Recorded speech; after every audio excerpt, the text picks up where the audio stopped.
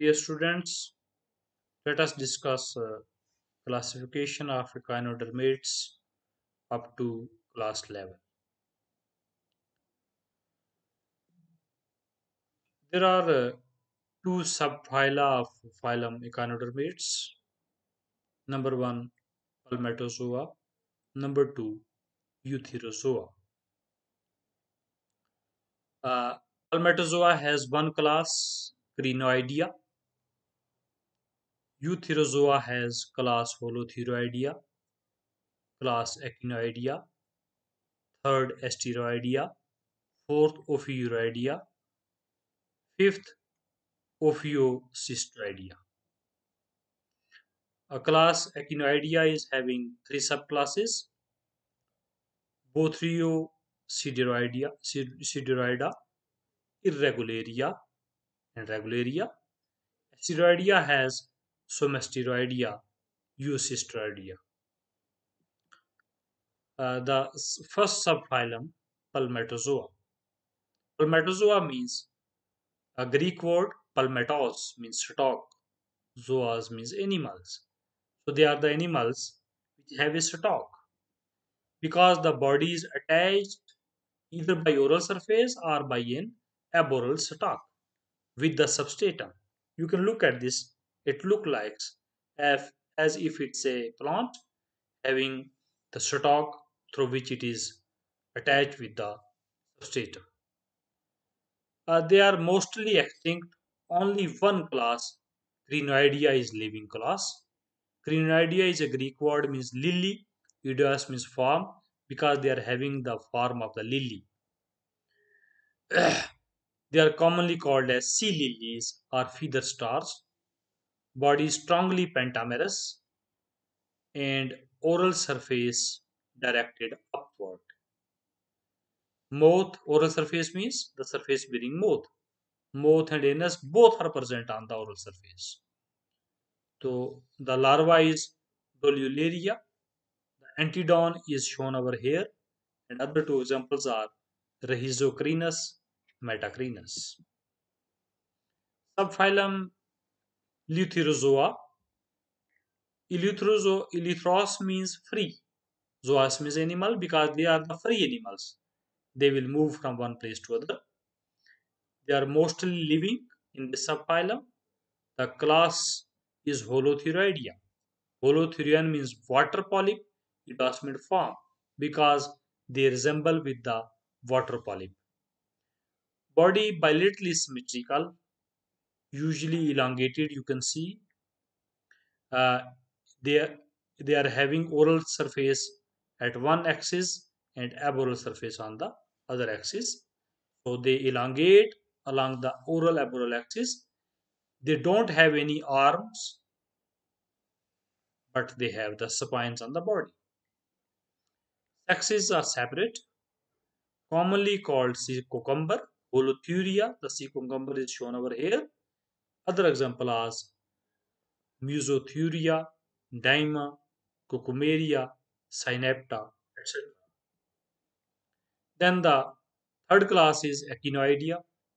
Echinos means hedgehog, Eidos means farm because they resemble with the mammal hedgehog. Body is spherical, disc-like, oval or heart-shaped, without arms. Sexes separate. Commonly called sea urchins or dollars. They are free. They have the free swimming Echinopluteus larva. Class Echinoidea uh, has three subclasses Bothriocidaroida, Irregularia, and Regularia. The Bothriocidaroida is extinct one. The chewing organ, Aristotle lantern organ, is absent in these.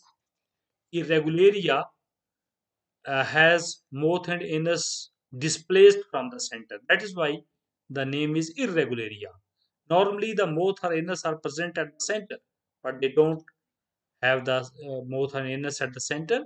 So, uh, they are named irregularia. Example is Clypeaster. Clypeaster is shown over there. Other examples are Echinocardium, Lovenia, etc. Then the Regularia has the living forms. A lantern is present there. The Formosa is shown over here. Spirosoma, Cidaris, Echinus are the other example. Class Asteroidea, the fourth class Asteroidea. Asteroidea means aster. Eidos means form because they are star-like appearance. Body is flattened. Pentagonal or star-shaped. That means having five arms uh, with mouth which are not sharply marked off from the central disc but their arms are not sharply marked off they are not uh, they cannot be seen well as we have seen earlier sexes are separate commonly called starfish or sea star bipinnaria or branchial, branchial, brachiolaria larvae are present in their in their life cycle then the this asteroidea has the example like astropecten shown over here. So Archaster, Asterias, Echinaster, Hymenaster, Solaster are other examples. It has two subclasses. Subclass Somasteroidea, they are the fossil stars. Uh, Platasterias latiradiata is the only living species. So why they are called fossil star? Because uh, rest all their relatives were present uh, at the ancient time and only this animal is now living which represent the earlier form so they can be called the, the fossil stars subclass Euasteroidea have the living stars etc then the class fifth Ophiuroidea Ophios means serpent and Eidos means form because they are having the serpent-like appearance.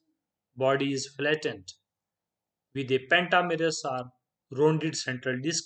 You can see this is the rounded central disc with arms. Arm are very sharply marked off from the central disc. You can see every arm is well separated. Whereas in previous form, they were not well marked. One arm and the other arm were not uh, separated at the central disk level. Sex is separate, commonly called brittle star. Pluteus larva is the example. Ophioderma I have shown over here. Other example are Ophiothrix, Asterophyton, Astroporpa, etc. Thanks. This is all about the classification of the phylum Echinodermata.